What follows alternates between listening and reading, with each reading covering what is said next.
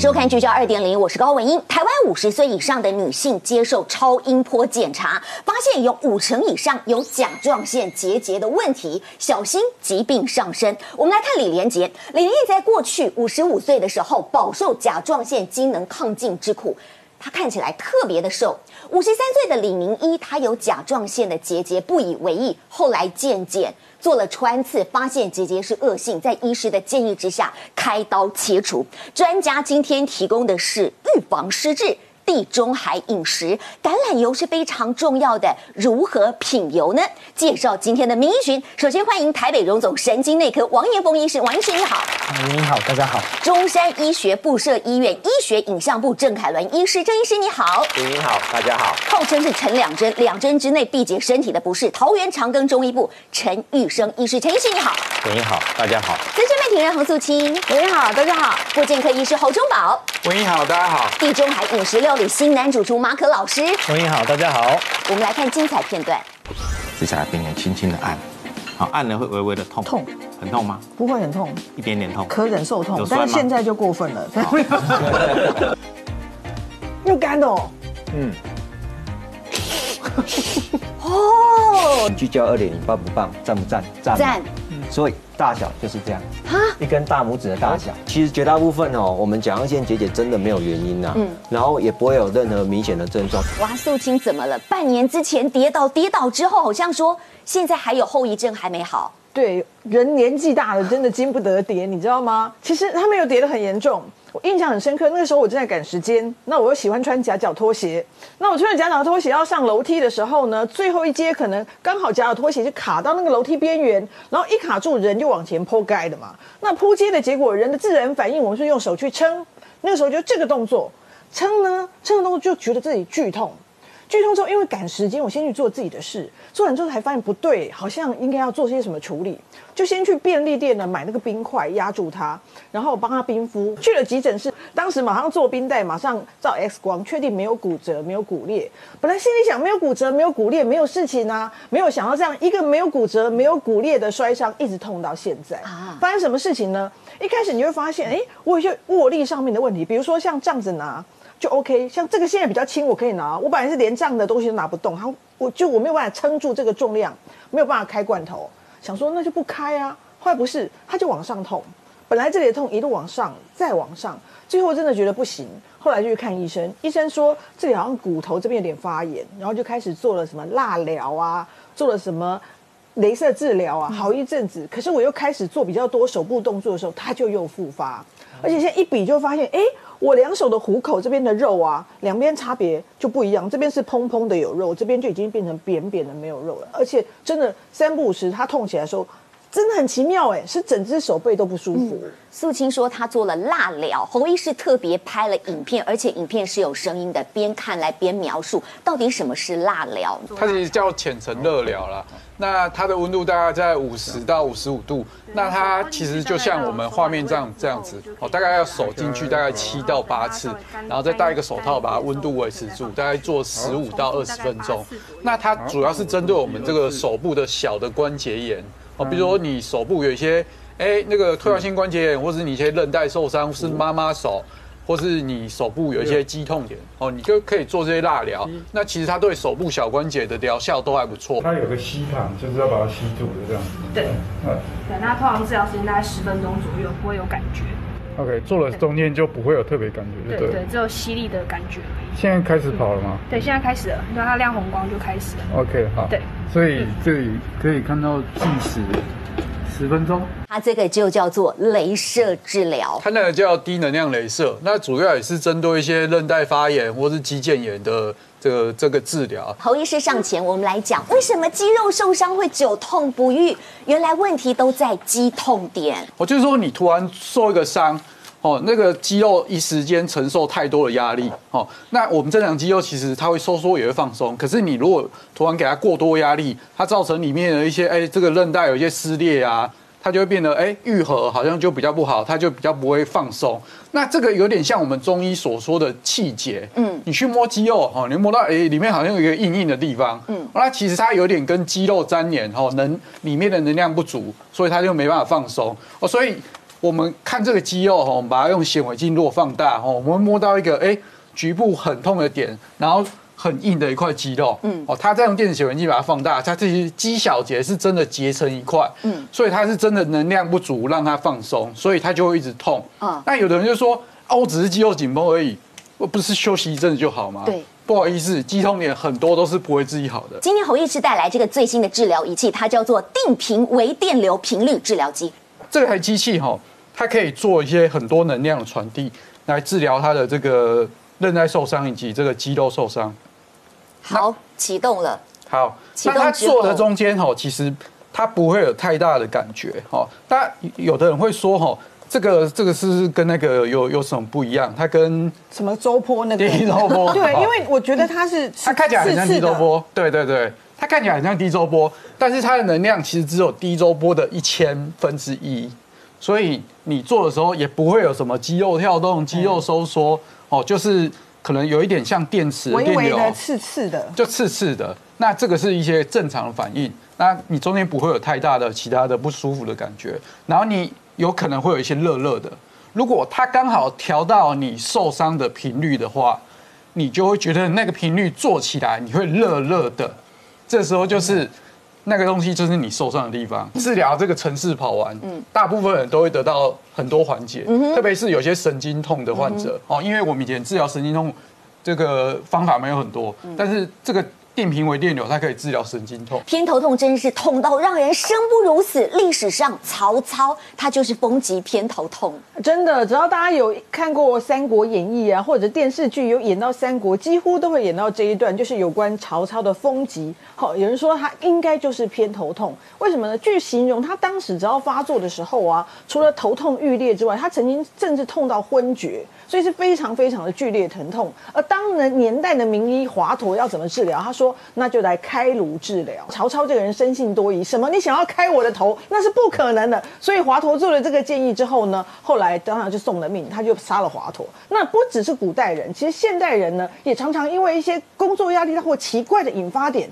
就会让他痛起来。像最近当婆婆很有名的这个钟心凌，心凌就说她其实有时候就是工作压力很大的时候也会痛，而且她痛起来就是除了病病下下狗，有时候就是恶心，就是病病下下狗，有时候从左边痛起来，然后有时候是痛到会想吐。那他形容最有趣是，他说有时候很害怕开门那一刹那。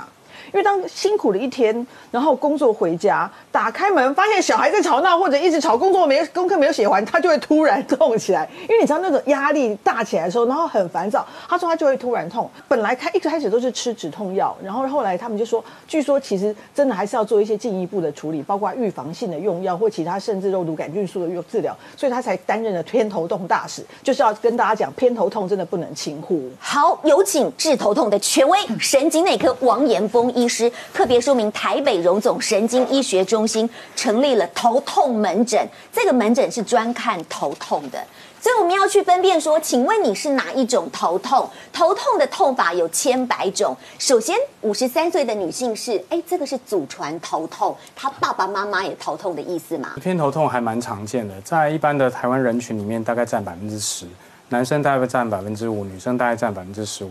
所以台湾两千三百万人来说的话，大概两百多万人有偏头痛的问题。嗯，那这里面呢，还有一群特别厉害，几乎天天都爱痛，几乎天天都爱吃止痛药，大概占百分之一。嗯，也就是说，台湾大概有二三十万的人，就是像我们这个第一位个案。好，那这位大姐呢，她就是长期有这个偏头痛的问题。嗯，那不晓得要怎么处理呢？就跟妈妈、跟阿姨、跟姑姑一样的做法，痛起来就喝感冒糖浆。喝感冒糖浆。那感冒糖浆里面呢，除了有这个止痛的药，又有咖啡因，所以喝了精神百倍，而且头痛就变好了。那这最重要的事情就是要戒药。嗯。那头痛吃吃吃太多止痛药的话会成瘾，那没有把药戒掉的话是不会好的。所以第一个事情应该是要戒药。那我们接下来讲到第二位个案，这个其实是一位医师。那这个产生了一个很奇怪的头痛哈，他就是跟他小朋友在接棒球，不小心滑了一下。嗯，那一开始的时候呢，就起来头很痛，躺上去就好了，所以也不不以为意，想说多休息就好了。可是接下来几个礼拜都是这样，起来头很痛，躺上去就好了。那想说到底是怎么一回事呢？那后来有一天呢，他就想说，哎，怎么头痛起来也不痛了？那是不是好了？哦，那后来就觉得他太太觉得他有点怪怪，就送来医院。好，那一开始头就长这个样子。好，那这个呢，看起来有一个特性，就是说哈，这个打显影剂以后，磁振哈会看到硬脑膜显影，那这边脑子有出血，好，那再来就是这静脉都鼓起来。好，那所以看到这个特性的话，呃，很容易的就会想到一个诊断，就是低脑压头痛。那所以呢，这位医师就是摔倒以后呢，啊，脊髓这脑脊髓渗漏了。好，我们的大脑很像塑胶袋装水装豆腐，那这塑胶袋破了以后水一直流，所以人起来以后脑子就下沉，下沉以后呢，大概有五分之一的人头里面会出血。好，所以就产生了这个血块。嗯哼。所以看到这个呢，最重要的事情就是要找找看什么地方脑脊髓一直在漏。好，那我们医院有发展出一种新的这种影像的技术，你就可以看到，好，原来是这个地方在漏。哦。那所以这怎么治呢？我们就做血液贴片。嗯。好，什么意思呢？就抽他的血，然后打到这个地方去，啊，做一块人血膏，把这个洞给粘起来。好，所以我们刚刚讲塑胶袋破了嘛，好，我们弄一个东西把它粘起来，水就不漏了。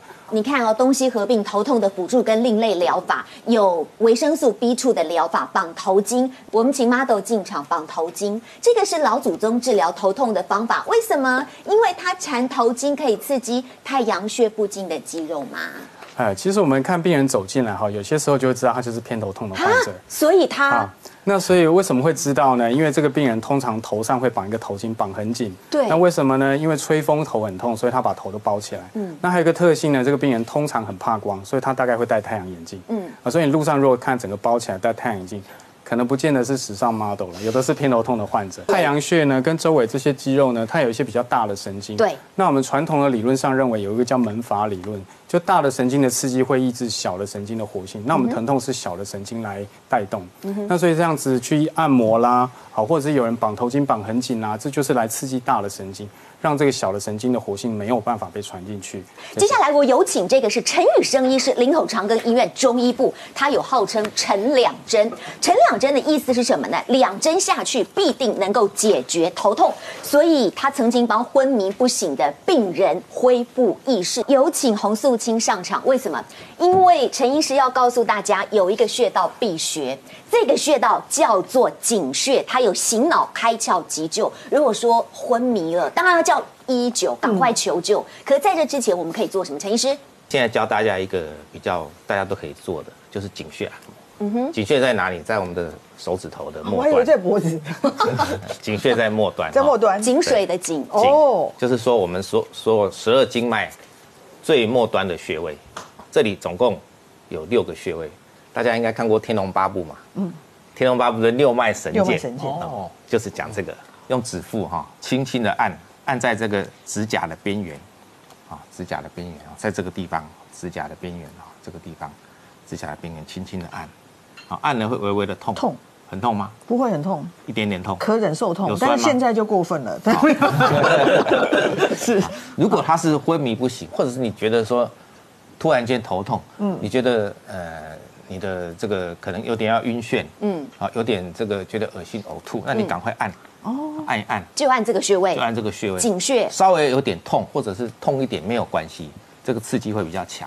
好，那如果你按了这个，按了大概十几下，你觉得没有效，就按第二个。嗯，我们换另外一条经络来试试看。嗯，啊，第二条。他目前这种程度，如果还没有醒，那真的昏厥的还蛮严重的。再来这个，这是颈穴的按摩。好，颈穴按摩其实它在很多的疼痛啊，不只是头痛哦，很多疼痛都可以协助缓解。百会四神聪这两个穴道，百会穴哈，在我们的头顶，我们怎么取呢？就是我们身体的正中线跟两个耳朵、两个耳朵耳尖啊的连线的交叉点，这是百会穴。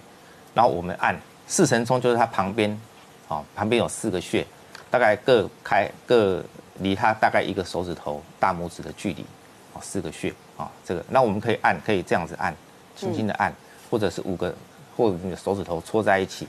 啊，轻轻的按，嗯哼，啊，轻轻的按前面，啊旁边，那按这个穴位，它可以提神，啊，而可以缓解疼痛，是，可以把我们的注意力增加啊，甚至可以做一些保养哈。我们如果注意力不集中，比较容易健忘的时候，用这个穴都可以。你知道，你有你有 Google 过我的资料，知道我健忘的问题。好，另外一个什么叫做假梳头啊？假梳头就是说，如果说。如果说你觉得你精神很不好，那你觉得你头痛快要发作了，你已经开始有这个前兆的症状，那我们可以自己透过我们经络的疏导，哈，那怎么做呢？哈，这个自己可以做，哈，就是我们的头手放在我们的额头上，然后从额头前面往头顶，好，往我们的枕部，移动到耳朵后面，啊，这个就叫假梳头，好像在梳头哈，啊，就是这样。这名字是你取的吗？假梳头，真的有点欠揍。就是头痛的时候记得假梳头。对，假梳头就是洪素心现在做的这个动作，对吗？对，因为它重点不是在梳头哦，重点是在缓解哈，因为透过这里有这里有，呃，督脉哈，有膀胱经啊，还有胆经啊，对，有一些经脉还从这边经过。这是假梳头哇！你看洪素心，感觉整个人稍微放松了，是手指呈爪状，指尖轻触头皮，额头沿头顶往后轻轻推到枕部，再从头顶往下推到耳朵，各推五十次。马可老师要送书，这个是高代谢的地中海料理，他自己瘦了三十六公斤。对，这是我的第四本新书，所以第一次曝光，让大家知道我瘦了三十六公斤。最近又瘦了，最近又不小心瘦了两公斤。好，可是是健康吃，对，是健康吃，因为他是地中海料理的型男主厨。是，今天告诉大家，来，先来看电视墙，观众朋友拿起相机拍下来。地中海饮食可以缓解体内的发炎，预防失智，是的，是有方法的。今天哦，这一道叫做翠绿葡萄农夫沙拉，食材油醋酱做法。对，这个食材其实就是利用葡萄。这道菜的由来哦，其实是西班牙跟意大利的农夫他们在酿酒之后要种很多葡萄。那夏天很热，他们就想要吃这个沙拉，每天就摘葡萄来吃，觉得好像没什么有趣，所以他们就把葡萄摘下来之后切开，然后拌点他们喜欢吃的火腿啊，然后橄榄油、亚麻仁油，然后做成了一道沙拉。对对对对对，这个很简单。它最重要的其实是要把葡萄切开。就像这样，绿葡萄跟紫葡萄切一半，切一半之后，把橄榄油倒下去。哇，对，然后我们再把亚麻仁油倒下去。这个亚麻仁油的苦味会略微抵葡萄的甜，没错，让整体的味道更均匀。那我们知道地中海饮食吃很大量的坚果嘛，那坚果有那个很大很棒的镁离子，它也可以治疗我们刚刚说的头痛，所以我们把坚果放进去。那坚果基本上就是原味的。就你选用你喜欢吃的坚果就可以，但是要敲碎哦，敲碎它跟油在融合的时候呢，会比较入味。啊哈，对，然后这个时候呢，我们就放点葡萄醋，让它有点酸酸。葡萄醋，对，葡萄醋。我对你很多的油啊、醋啊很好奇。你说橄榄油，还有亚麻仁油，还有葡萄醋。是，那最后一定要调味，所以我们就放点黑胡椒。然后放一点盐巴，不要多哦，不要多。然后放一点 cheese 下去中和一下，一点 cheese，一点 cheese，让它吃起来比较有口感。它像农夫般活力满满，可是提醒是说葡萄的糖分不低哈。对，所以摄取的时候小心，就是不要吃太多，不要吃太多。生菜多吃一点，生菜多 吃一点。对，那其实把它拌一拌，让它泡个一两分钟，我们就可以看到这个葡萄啊跟油啊，它融合在一起的时候，它就会这样有渗透一点。它的那个甜分出来，对，真的好漂亮。你看，对，晶莹剔透的好漂亮。它就是一个酱汁哦，哦哦，不要单独去吃它，单独吃它真的就像那个我已经讲了，吃的会太甜。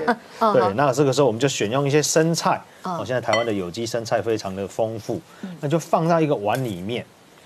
放好之后呢，为什么要放到一个碗里面呢？因为你要把这个葡萄。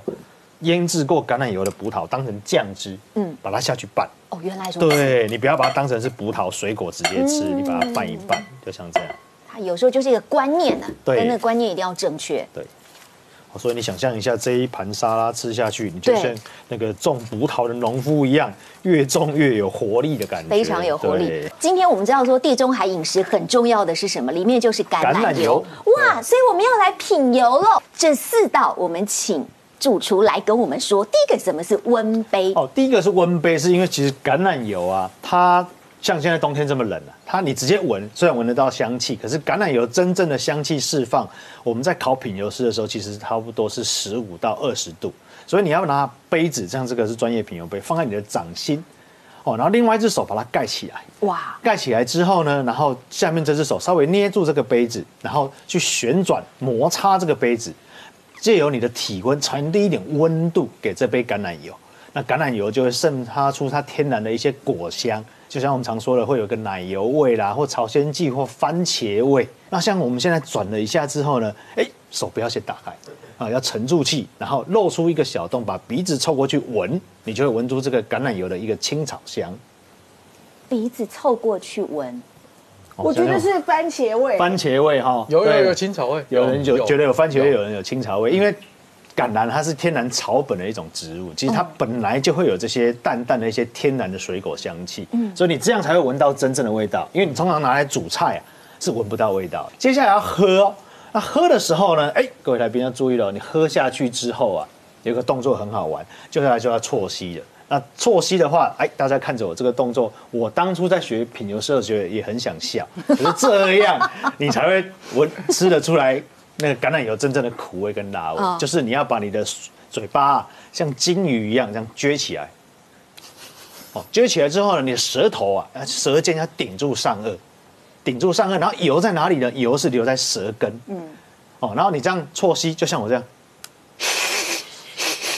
你就会发觉那空气啊是从两侧进入，那空气从两侧进入，刚好你的油留在舌根，你就可以品到这个油的苦味跟辣味，就像这样。又干哦，嗯，哦，这个就叫啜吸，对，这个叫做啜吸。侯医师，来，动作越大声，分数越准哦。如果要考品油师的话，要考品油师的话，身体要有好油，如何？哎，嘴巴可以再撅一点。哎，对，是的，哎，标准有吗？嗯，味道就进去了，有点苦苦辣辣的。复健科医师要提供的是紧缩型头痛有解方啊？怎么做？其实许多人这个紧缩型头痛都跟肩颈这个肌肉太紧有关，哦，这些都有一肌痛，你会跑去跑去头上，那你就觉得好像是头在痛，其实是颈部肌肉的问题。那最重要是保暖，就是你该戴围巾就戴啦，像头巾啊、围巾，这都很好用。那我先跟大家讲哈。大家很常忽略头痛是颈部的前面哦，这个叫斜角肌紧绷。那这个这个地方的伸展其实是有点困难的。那我有一个方法哈，就是像我们这个这个图上的哈。那我们第一个哈，我们先最重要颈部伸展哦。许多人会说，为什么做起来好像没有没有效或更痛？他们通常都忽略一个点，就是他没有收下巴。好了，所以我们伸展第一个要让颈部归位。好，我们先把下巴收进来。那我会这样点个大概四到五下，好，然后停在这里。侧面的话，哈，如果比较好的姿势，你会看到它的这个头顶啊、耳朵啊、肩膀成一直线。你要在这个姿势下伸展，你才会伸展到真正我们要伸展的地方。然后，于是我们把下巴收进来，然后，譬如我要伸展我们右边的这个颈颈前侧，好，那我就把左边的头、左边的手放到右边的头，然后把手往左后方搬。然后右手把它往下放，啊，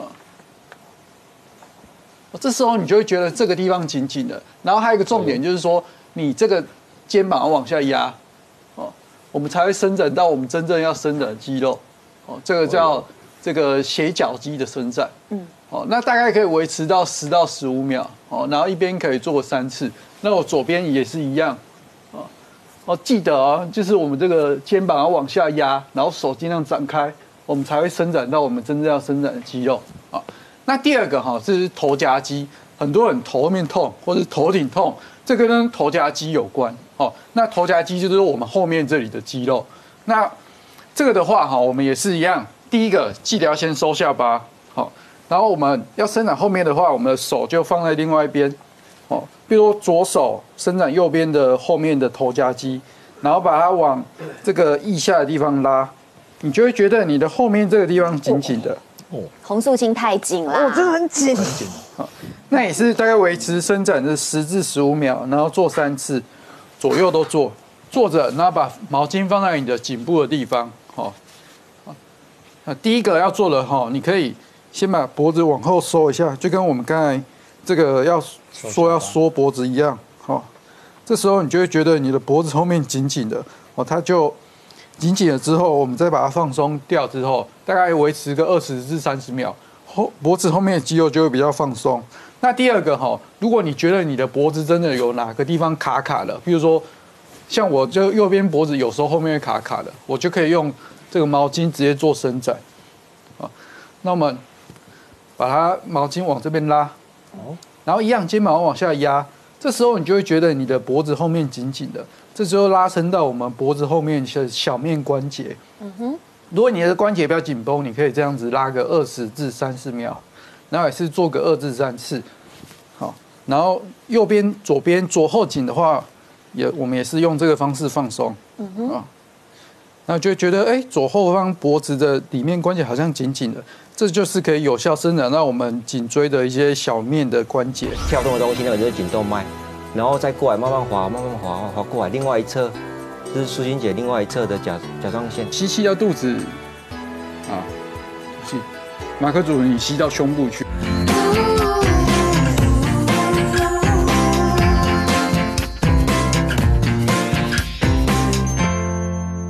有非常重要，台湾五十岁以上的女性去做超音波检查，五成以上都有甲状腺结节的问题。我先请素清告诉大家，其实功夫巨星李连杰他就是。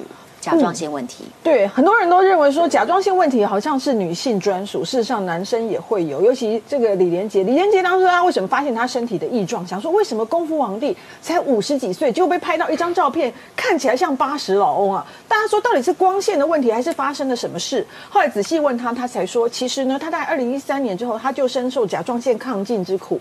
他说他多严重，以往我们在荧幕上看到他的形象都是哇虎虎生风。他说他严最严重的时候，他是连走路他都觉得他心脏跳得太快，所以他没有办法承受这么剧烈的运动，因为那个心脏他都受不了。他们形容有时候坐着的时候就是千军万马，所以他不得已只好要吃药治疗。可吃药之后造成的结果就是，大家会看到他好像忽忽胖忽瘦，哎，有时候整个人肿起来，有时候就整个人很瘦。原来这所有的原因都是因为他甲状腺功能的问题。可他是功能的问题哦。另外一面女性呢，她就是结构上出了一点问题。她怎么样呢？她是李明一，她其实说她早年检查就发现她有所谓的甲状腺结节，但她不以为意嘛，因为甲状腺结节可能是良性结节嘛。刚才文英有说五十。岁以上女性可能两个里面就有一个找到结节啊，所以她没有去注意它，也没有定期去检查。到后来，她后来呢，在一次健康检查里，他们就发现说，哎，好像这个应该好像有点需要再进一步穿刺。所以穿刺的结果发现是恶性。我是甲状腺结节，我有甲状腺亢进，所以我躲得过结节吗？周医师？哎，这两个是两个不同的故事啊。刚才苏金姐有帮我们整理，我们可以看这个图哦，甲状腺正常的甲状腺在我们男生喉结的下面。啊，女生喉结不明显，其实也是在差不多的位置啊。那刚才主持人有提到，她有亢进的问题，会躲过甲状腺结节吗？很不幸，没有办法。哦，所以不要以为说，哦，我我我有抗进，或者我没抗进，我就不会有结节，这是两件事情。那是两件不同的事情，所以我们两大方向要注意，一个叫功能的问题，一个叫结构的问题。甲状腺呢，在我们脖子喉结的下面嘛，啊，其实它小小的，十五到二十公克而已，它的大小很好记。我们有一个口诀，大家一定记得起来。我们聚焦二点零，棒不棒？赞不赞？赞。赞嗯，所以大小就是这样。哈，一根大拇指的大小。真的？就赞。所以就是四到五公分，厚度大概一公分，所以就是贴在这个地方。嗯。那其实目前台湾这个问题蛮普遍的，不是只有台湾，全世界都一样。嗯。那早期啊，我们的食盐里面没有加碘，所以大家会听过一个东西叫短龟。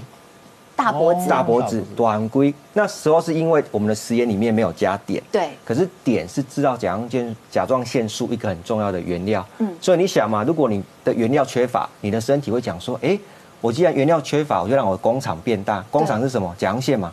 所以甲状腺就会肿起来。所以那时候政府在民国五十几年的时候，就在食盐里面加碘。所以目前几乎看不到短龟大脖子这件事情了。我们直接这样放上来，有点冰冰的哦，不要吓一跳。这个时候啊，我们素清姐的甲状腺被全台湾的人都看到了。我目前看起来非常非常的均匀，非常非常的漂亮。哇！你看，我们就这样滑滑下来，滑下来，我们可以看到一个东西在跳。我停格一下，你们看到个在跳，那个就是素清姐的颈动脉。在跳的那个就是颈动脉。在跳这个在颈动脉吗？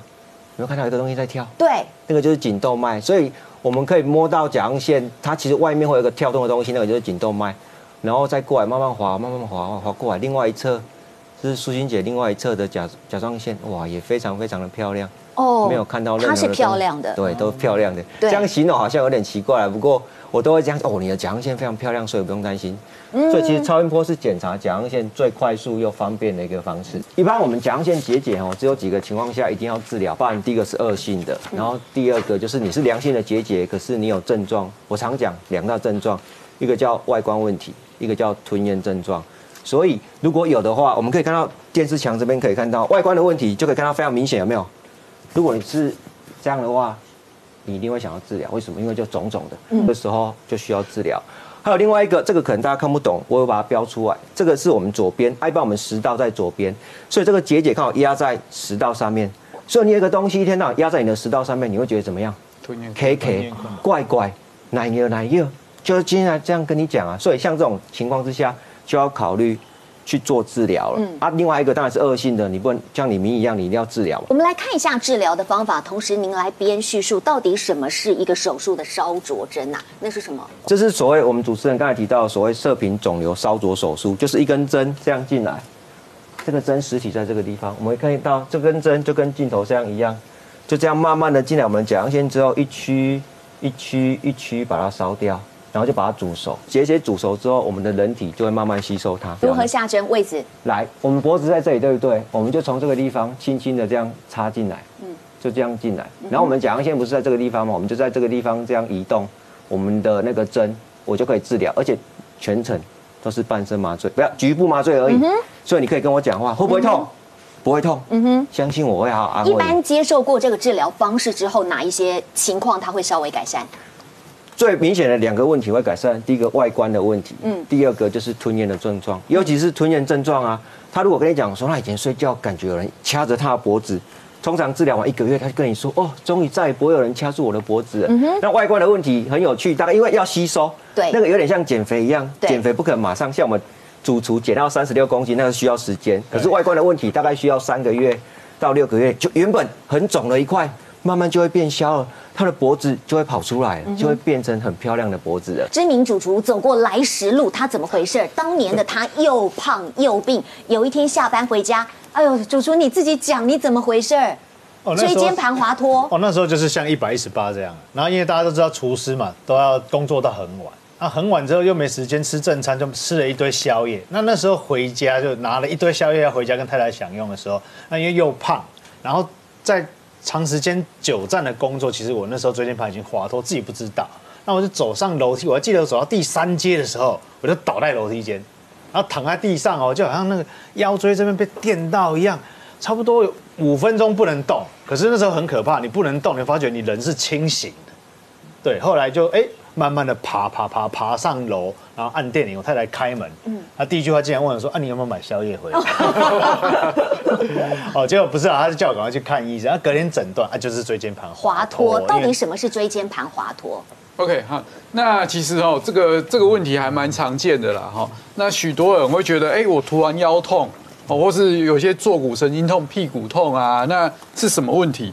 那其实椎间盘滑脱这个这个名词有一点奇怪，它其实是两个病症，你把它合起来讲。哦哦是两个病症，对对，椎间盘滑脱其实应该是腰椎滑脱加椎间盘退化。就正常脊椎其实是一个弧状的东西，顺顺的啊，这个就是一个好的腰椎。你看这两个线，虚线吧这个虚线它没有连在一起，哦这个就是所谓的脊椎滑脱。哦，呃所以你那时候去检查，可能就会比较像这样子 X。光片也是这样。滑脱会怎么样？滑脱其实就是这样跑掉，哦，原来如此。它就是这样，就是滑脱。那你可以看到啊，这个会发生什么事情？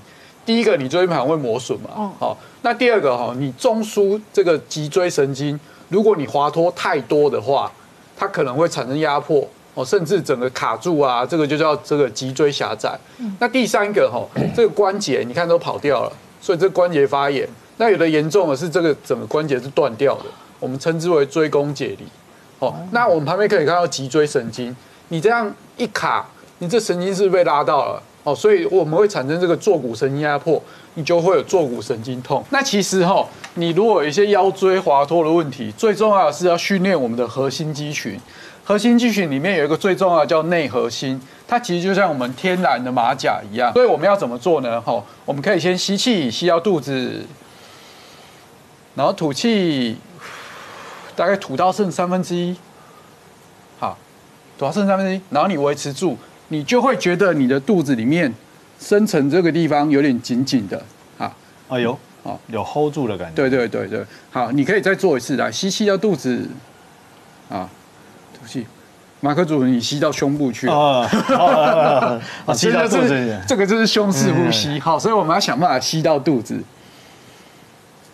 啊，吐气，吐到剩三分之一，哎呦，好，然后你如果有做正确的话，哦，我在压你这个肚子的地方，你大概吐到剩三分之一的时候，你就会觉得那个地方有个硬硬的鼓起来。点，对，有点。对对？像我现在就是放松，什么都没有。如果我有启动内核心，它其实就骨盆只会旋转一点点，它就会往后旋一点点。哦哈，哦，这时候你的骨盆，哦，从侧面看起来就会比较正，哦，就是你的耳朵啊、肩膀啊、这个外宽啊，以脚踝就会成一直线。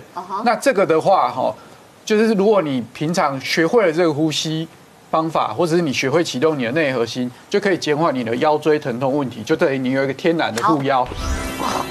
哇，真是太厉害了！哦，你要把它碗这样泡在水里面，然后慢慢的让蛋滑进去。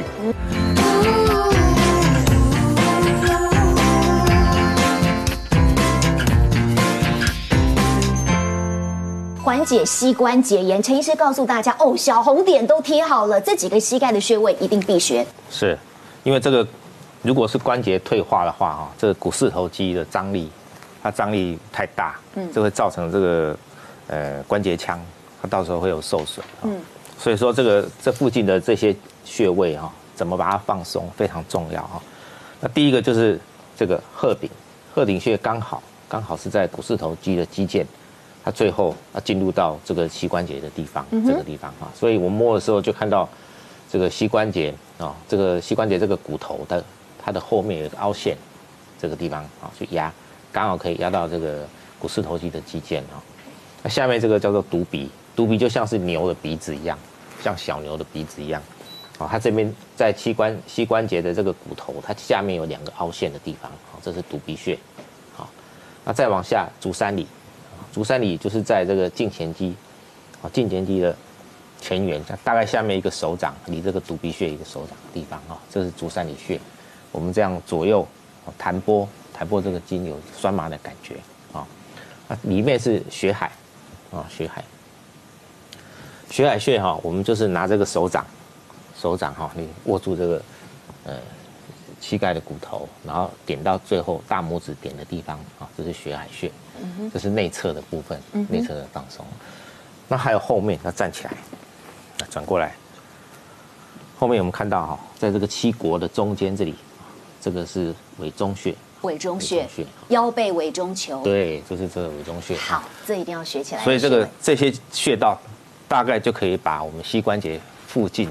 的肌腱把它放松。陈两针要加码，说你要做易筋经啊，来看看陈医师教易筋经，妈都跟着做来。他的动作大概就是像这样子哈，然后他他其实有个名字，又叫做疏肝泻胆。那做这个动作的要领就是第一个，你必须要垫脚尖，啊，两手伸直向上，五个手指头要张开来，对，张开，眼睛要看上面，舌头抵上颚，啊，然后尽量伸直啊，最好两个。手能够贴到耳朵，哦，啊，通常哈，像这样，他做这个动作，身体会晃，对，就代表他的其实他的重心，他平平常的重心，脊椎的重心其实是有一点偏的，哦，所以这个要加以训练，这个其实练这个哦，也可以练到这个核心的肌群的部分哦，嗯哼，好，放下来，那这个这一招，这个招式又叫疏肝泻胆，嗯，其实它也是可以缓解压力，嗯。如果当我们压力非常大的时候，我们可以用这个方式做。你可以数，一般我们做哦是七七四十九下，但是一般人就是你要做，如果你只是放松的话，你可以做大概呃十五下。对，好，十五下、三十下，就看看你的情况。接下来我要请陈医师告诉大家，我们看到横标放松两处肌肉，缓解膝关节痛两招。脚收回来，然后脚掌相对，啊，脚掌相对，然后尽量能够把你的膝盖。哦，能够，能够往下哈，能够放到，这个很难哦。对啊，放大这个刚开始有点困难了。对，可是这个要练习，然后身体，身体往前倾。哇，身体太强了。哦，是。我们很多病人哈，我们教他做，嗯，很多病人他脚不会好，其实他一坐下来，他脚就是这样子，他没有办法下去。所以，我们其他回去慢慢弄，慢慢弄，他的下肢就开始改善了哈，他的力量也有了，嗯他脚也不会麻，然后他的很多症状也会缓解。如果他不改善，我们光是针灸是没有用的哈，所以他必须这样。最好的、最好的这个要求就是说，你的头如果能够碰到脚更好，那是更好。对。哇，真是太厉害了！哦，哦，大概就是这样哈。那做大概可以说，这个动作你可以。数个十五下，三十下，哦，一天可以做个这个五六次，嗯哼好我有问题，哎，因为我离很远，是然后我们要让它试着往下的时候啊，有时候有些人会这边晃晃晃，我就是我我要撑住，还是真的就是你要辅助，弹弹弹它有一个人在背后帮你的忙，哦。原来这样比较快。如此，对，双人部件吧，对对还可以对。再加码另外一招吗？你可以趴着，我们把脚缩回来，哦，膝盖弯曲。对，，拉股四头肌，拉筋股四头肌，妮用这样拉。妮自己做的一个膝关节痛缓解法，放松两处肌肉。好，谢谢陈医师示范。OK，OK 观众朋友，拿起你的相机拍下来，这是地中海料理拔得头筹。老师今天要教的是水波蛋贝壳面优格沙拉拉，它的做法你看制作人写这么多，你拿起相机拍下来，有空要细细的来看好了。其实这道菜里面呢，它就是很简单，把你喜欢吃的水果啦，然后比如说我们会煮一些小朋友喜欢吃的一些贝壳状的意大利面，然后我们把它做成一道沙拉。啊，配成沙拉，我们最常会配什么？水煮蛋。对其实，在国外哦，吃沙拉是配水波蛋。会比较好吃，把那个蛋黄弄破，跟它一起不会炖。不会煮哦，其实也教大家一个诀窍，让你的水波蛋一煮就会很成功。就是你的水波蛋哦，要先泡澡，水波蛋哦那先泡澡，，对，先泡澡。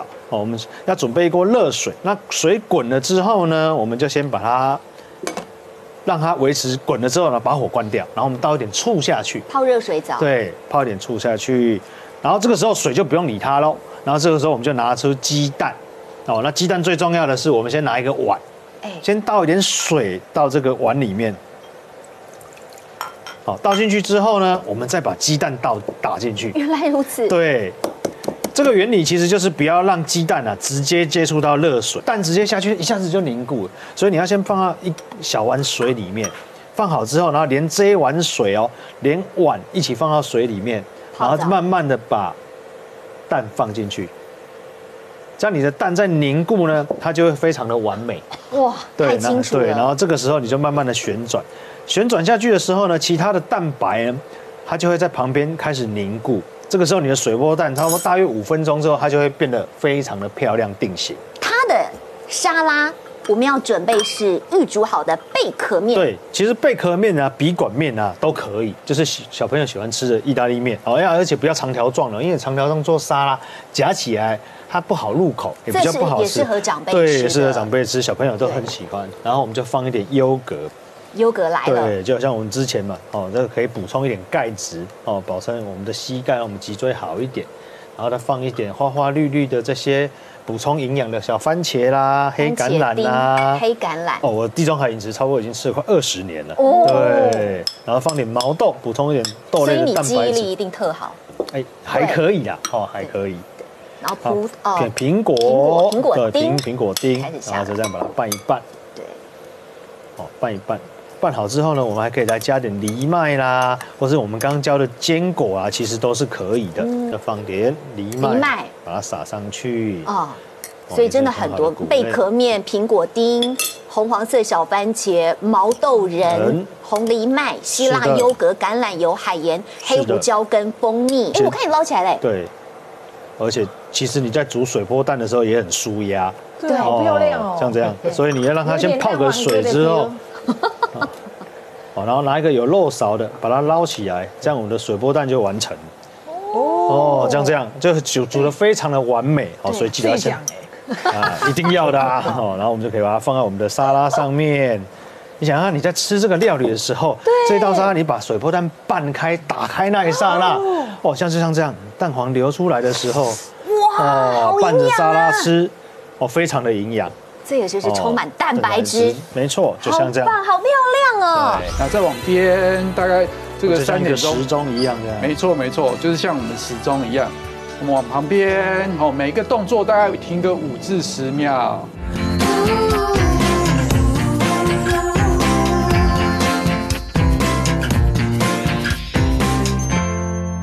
复健科医师要提供的是缓解冬天湿冷膝关节痛，这个叫做时钟蹲。有请侯医师跟马可老师。现在冬天啦，哈，大家都会有膝盖疼痛问题。那我觉得最重要就两个点，第一个就保暖，你要穿长裤，厚的棉质的吧，或是床边有一个吹风机，哦，那个睡觉前吹吹穴道啊，起床吹吹，或是热水袋。哦，或是第二个最重要的就是要做运动。那么左脚站在这个时钟的这个正中间，那我们就这个左脚往下蹲，然后脚往这个往前第一个方向。好，这个就变单脚蹲，我们还可以顺便训练一下平衡。啊，再往边，大概这个三点钟时钟一样的。没错没错，就是像我们时钟一样。我们往旁边，好，每个动作大概停个五至十秒。嗯，哎，那这边是几点呢？六点。这边大约是四点半。好，我们蹲到四点半了。好，来回来，嗯，再往六点的方向蹲。蹲。好，大概停五至十秒。那我们再回来，那我们再。现在到了七点半的方向哦，七点半很难哎，七点半比较困难，哦，身体会有点扭转。那我们再再蹲九点的方向了，九点哇，好，表示我膝盖还行。好，那晚上十点半哈，这就比较困难点哈，要往这边蹲。原来十点半是最难的。对对对，然后这边蹲完了，我们再换另外一边，一样，十二点开始，十点半，九点。哦，所以它其实哈，在你做的中间，你已经很大量的训练到你的股四头肌。在家里的时候，边看电视的时候边做，然后它可以训练到各个方向不一样的肌肉，所以可以让你大腿的肌肉这个更均衡的这个训练到。那什么叫做分腿蹲呢？分腿蹲其实就是我们一开始示范的哈，这是比较单纯的直上直下。哦，这我们可能就是算次数。我们可以做个呃这个十至二十下，或是像我在家里就看电视会边做，做个三十至五十下，方便的，看电视可以边做啊。这样，但是这样就是训练到肌肉是比较单纯啊，所以你可以搭配时钟蹲或是分腿蹲，我，可以好好的训练四头肌。